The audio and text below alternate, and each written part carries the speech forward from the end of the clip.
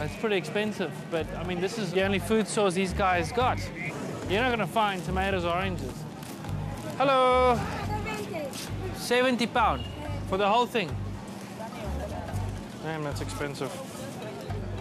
Beans and spuds. That's the real chimp breakfast. Thank you, ladies. There's more guns than food lying around.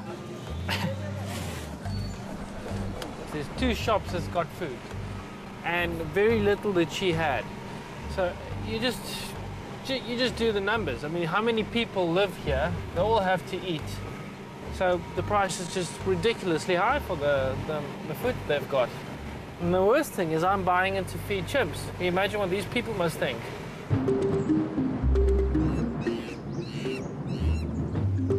Preparing to put the chimps in.